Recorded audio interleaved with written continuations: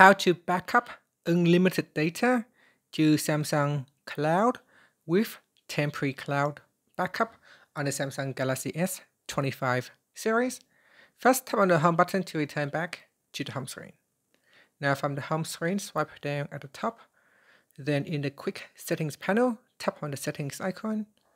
Next, we scroll down and tap on general, management. After that, scroll down to the bottom, then tap on reset.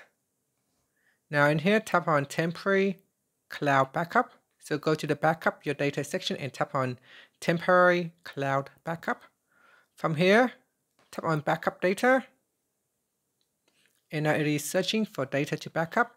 So if your phone have a lot of photos, pictures, videos, context details, files, and other apps, it may take a long time to backup the data. So prepare to wait for some times before the backup is completed.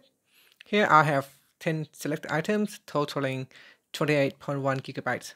So if we go down the list here, we've got codes and contacts, messages, apps, home screen, secure folder, settings and permissions, images, videos, consist of 1.85 gigabytes. And so you can individually select the items that you want to uh, backup. So uh, within this uh, page, you have granular control of the items that you want to backup. Here I will remove videos. It's simply too big um, to backup. It would take a long time. So as um, for uh, there's also another section here called apps uh, that takes up 20 gigabyte. So I will remove that as well. So for ease of demonstration, I will select just a few items to backup. So here I'll backup a few things and then tap on the backup button. Okay, so now it says preparing to backup data. Uh, one minute left because simply I only select a few items to backup. Uh, once it's finished, you can then uh, later on restore the data on your new device. Uh, for because Samsung want to allow you to simply backup and restore data to a new device. So this is only temporary. You can backup for a maximum of 30 days, uh, after which time your data will be deleted. So if you are backing up your data, make sure you quickly restore to your new device uh, before the 30 days period has finished uh, or is finished. And that's it.